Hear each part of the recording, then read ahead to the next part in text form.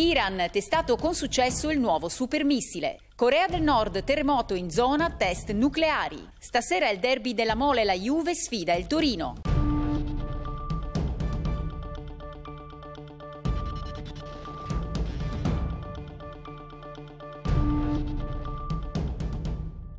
L'Iran ha testato con successo un nuovo missile balistico che era stato mostrato ieri per la prima volta nel corso di una parata militare a Teheran.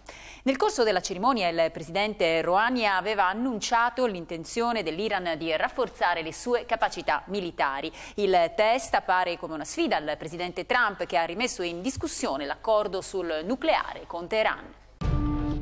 Intanto un terremoto di magnitudo 3.4 della scala Richter è stato registrato in Corea del Nord. Lo hanno riferito stamane i media cinesi. L'epicentro sarebbe stato rilevato nella stessa zona in cui il 3 settembre scorso è stato condotto un test nucleare. Secondo il servizio meteorologico coreano si tratterebbe però di un evento naturale non ricollegabile ai test balistici.